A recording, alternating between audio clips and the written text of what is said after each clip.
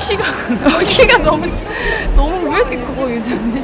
아이 아이 날아가는 거 아닌데? 아니 체급이 일단. 안돼 아, 유 유지언니도 좀 겁이 많고. 네 겁도 네, 많고. 뭔가 근데 아니 체급이 지금 다른데. 뛰지 않았던 아이린이 출격을 했는데요. 신체 조건을 보면 그냥 유지와 아이예요. 준비 신호 주세요. 자. 자, 이거 유지. 자, 이거 유지.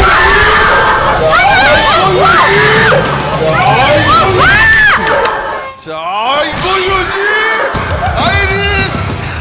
이게 너무 무서워요.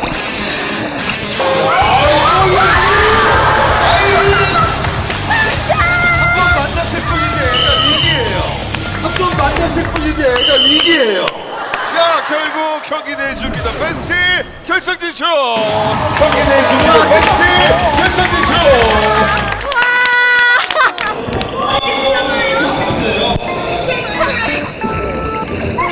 아, 근데 진짜 세다.